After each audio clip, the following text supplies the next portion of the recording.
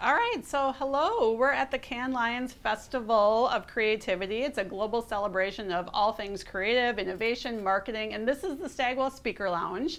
And you can see there's a little bit of energy behind us, but basically speakers come here right after their mainstay visit. So do a little stint with us. And my name is Gina Gray, and I lead growth for Colle McVoy, which is a Stagwell agency in Minneapolis. And I'm with my friend Rob Bullough, who's the global marketing for um, EA. And we're going to just kind of have a little conversation today about innovation in the gaming space and all those things. Sounds great. Sounds great? Yeah, all right. Nice. Tell us a little bit about your role at EA. Okay, um, so I am uh, director of global brand marketing at EA, and um, my role is ultimately a. Actually, it's kind of shifted over the years, but right now, um, luckily, and this is everything I wanted it to be. It's it's full. It takes over the. It, it looks after the whole stream um, of brand. And so, once upon a time, we, as a brand management function, would more or less just be concerned with developing the strategies for our brands in the upstream and then hand over to our various different partners in the organization and kind of hope that, you know, they did it. the, and, um, and that is still largely the case because we don't, we don't have the teeth, we don't get to tell people what to do as a brand team. However, what we do get to do is to see the work end to end. And so we get to begin um, a strategic initiative, you know, based on, on some insight we have into our audience um, in the upstream, develop some kind of strategic approach to it, and then work with our partners in order to bring that to market and also deliver that in product. And so, yeah, it's really, it's really, really exciting. Um, actually, I love it because it's these long-term projects where we get to, to you know, truly encapsulate things that we think will delight people in new ways, and then and then work with our partners to deliver them. So, so that leads me to a, a, something that's been I've been noodling. So that being said, the long-term projects, et cetera, how do you foster this culture of innovation? Yeah, it's it's, I think it, I, for me, innovation is a funny word, right? And I think we get tripped up on it because we, well, yeah, we must innovate because, and particularly since we make digital products, we assume that, yeah, we need to be innovating, innovating, innovating. But actually, I like the idea that innovation can come in lots of different ways. And some of them can just be simply the way in which we construct our teams, actually. Um, they don't have to be tech. You know, like the, the last, you know, 10 years have brainwashed into thinking that all, all innovation lives within technology. But actually, the reality is, is that it doesn't have to. Um, the, um, I was spe just speaking to some people earlier um, who were talking about a company that they work with where they've, um, I think they have developed a holacracy. It's a form of, um, it's an opposite of a hierarchy. It's the way they, they work with their teams where they've solved problems like people doing things in order to get promotions and infighting and all that kind of dumb stuff mm -hmm. that cripples growth and cripples innovation. And so actually the true innovation is the way they've structured their team, not necessarily a technical solution, which I think is that's the, that's the type of innovation which really you know mm -hmm. gets me excited. Beyond of course the fact that yeah, I mean I I like shiny things too. know. So I have a question about that's personal for me. So I have a 16 year old son and a 51 year old husband mm -hmm. who are mm-hmm. both avid gamers. Mm -hmm. So what uh, what's your perspective on the changing dynamics between players and brands?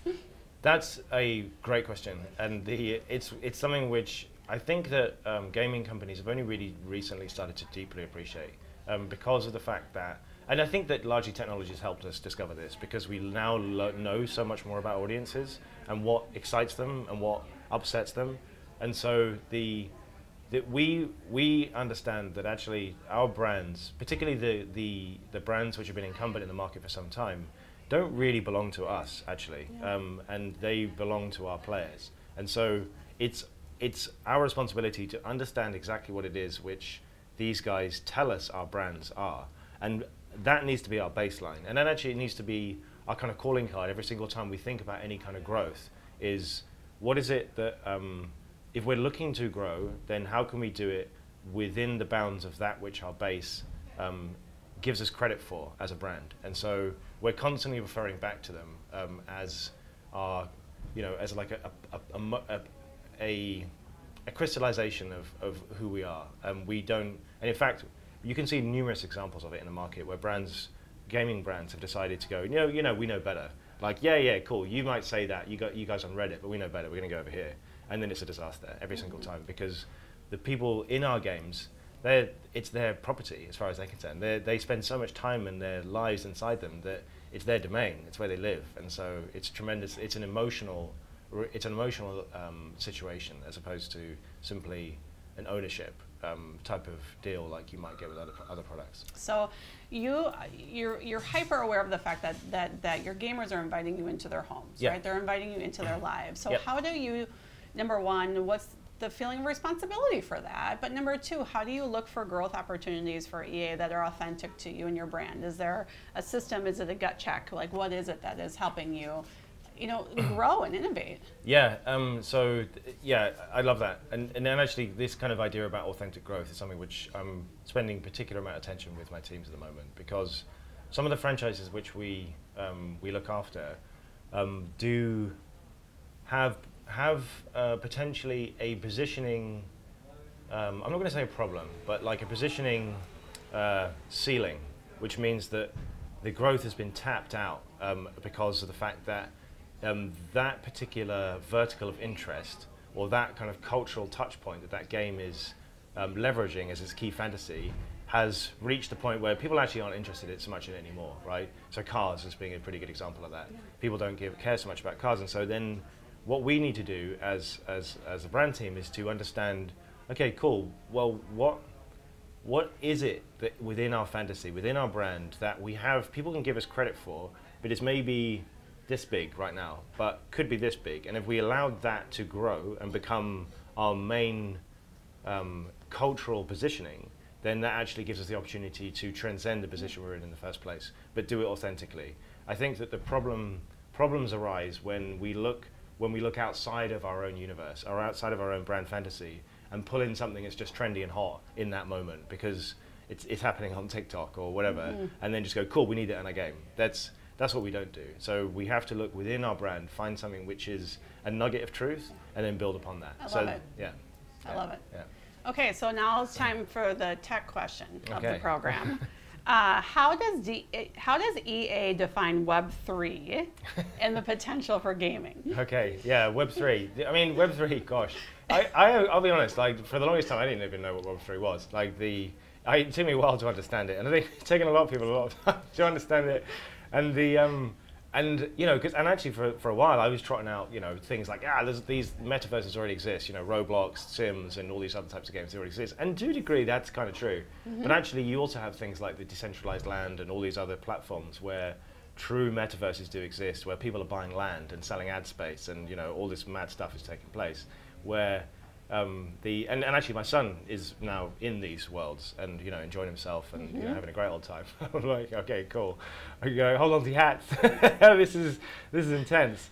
Um, so I think that the, the reality is, is that the, the emotional behavior and the things that the, uh, the which motivate um, our players exist within some of our titles already, and so that is something which we can observe as a company and learn from um, once we start to make plays within something like a Web three landscape.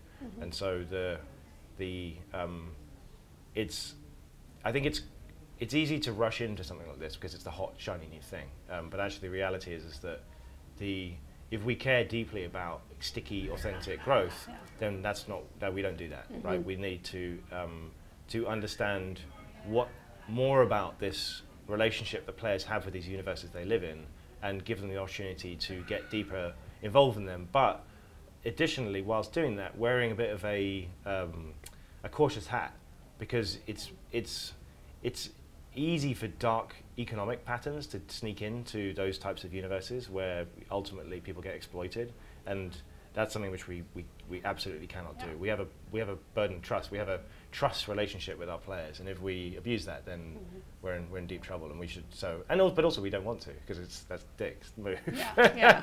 like, let's not do that.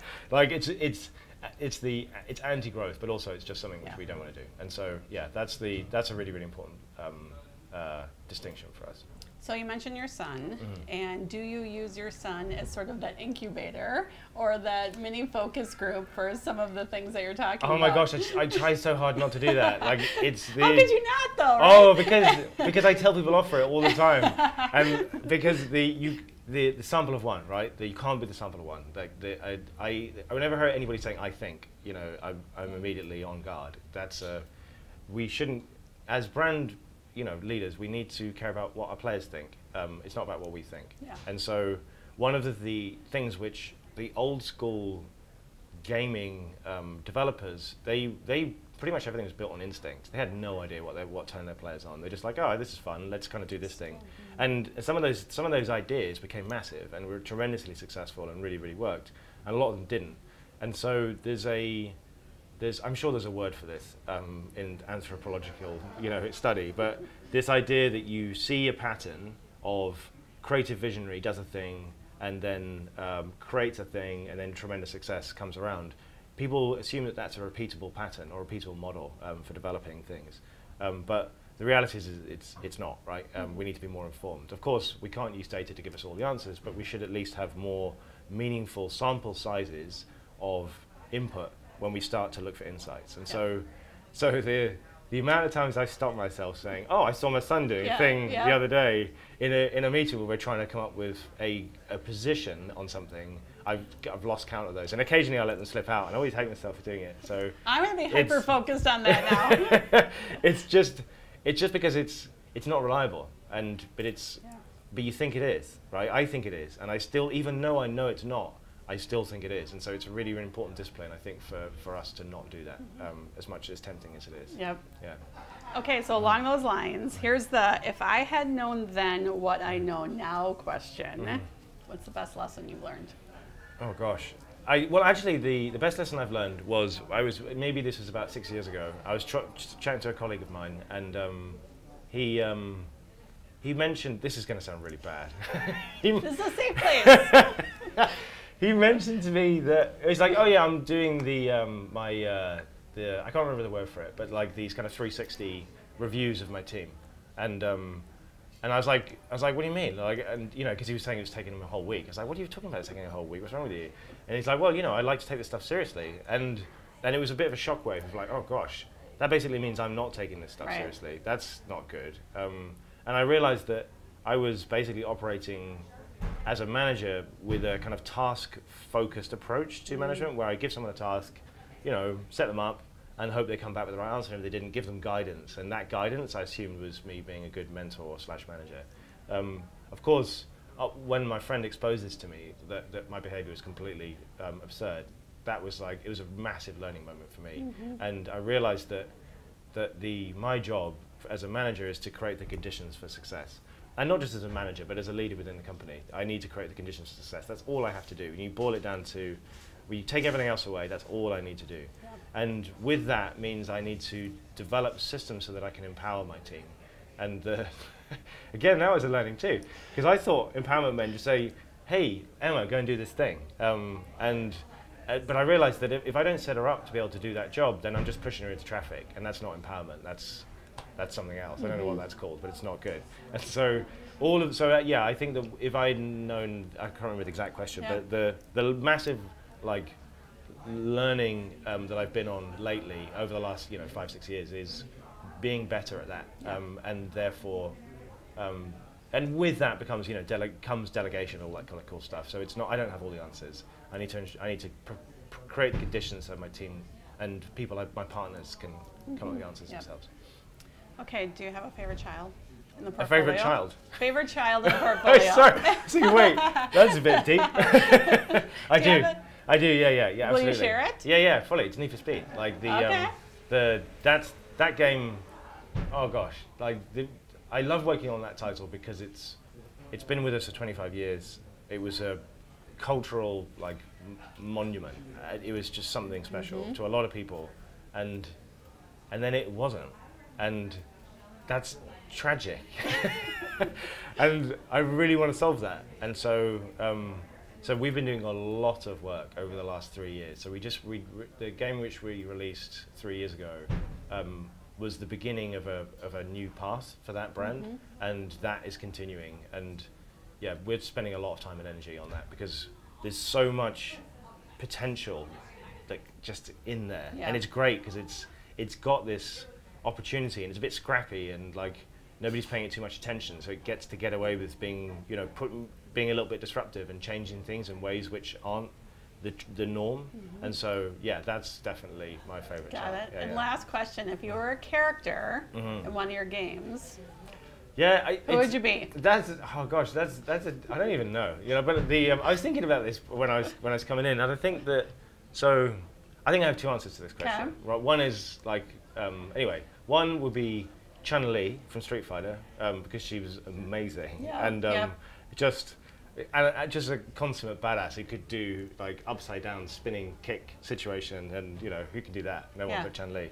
And um, and my friend always used to beat me. I never played as Chun Li, but my friend I used to play as like Paul Phoenix. I think. Oh wait a minute, he's Tekken. Who's the guy? No, it was Ryu. I think I used to use in Street Fighter. Okay. And um, he used to play as Chun Li, and he always always kicked my ass like every single time. And so this is a so it's embedded in my brain that Chun Li is this like in, immense you know, like character. Got it. But then secondly, and I think this is this is it was funny because this only popped into my head when I was coming over here. But the actually when I was a kid, my dad um, with a, with a computer that um, he had wrote this piece of software which created which recreated this game uh, called Nim, um, where you have a bunch of matches on the table and you have to remove a certain number of matches. Um, and I think you have to leave one left. I don't remember exact rules, but it's like it's a nice, fun little pub game that you can play with matches. And we, me and my dad used to play it lots of kids when I was a kid. Anyway, he recreated this inside software on this early computer back in the 80s. It was phenomenal. Like looking back on it now, I was like, wow, how did you even do that? And the um, and it was great because there was this moment where the game came alive and it said Nim, and uh, and like that. It's it's not even a character, but it was probably the first time I'd experienced that sensation of entering into a world. Even though this was 8-bit, you know, the no color graphics, none of that stuff, but it was. It felt like some electricity was, you know, I'd something had come in come into this different place, and this Nim was a character. Um, even though it was a game, it was a character. It had an energy and a vibe, which is which was palpable. And so, yeah, I think that as much as Chun Li's a badass, this Nim thing that my dad wrote, that was that the energy and the vibe that. I want to be that that Nim That's where it all started. situation. Yeah, That's yeah. I think it probably did. I, I had no idea that I'd finally end up, you know, doing video games. It's not like that was the journey that I had planned, but yeah, it seems here I am now. So. Nice. Well, mm. thank you for joining us backstage at mm. Cannes in the Stagwell Speaker Lounge. If you want any more information on Stagwell, follow us on LinkedIn and Twitter and mm. come back next time.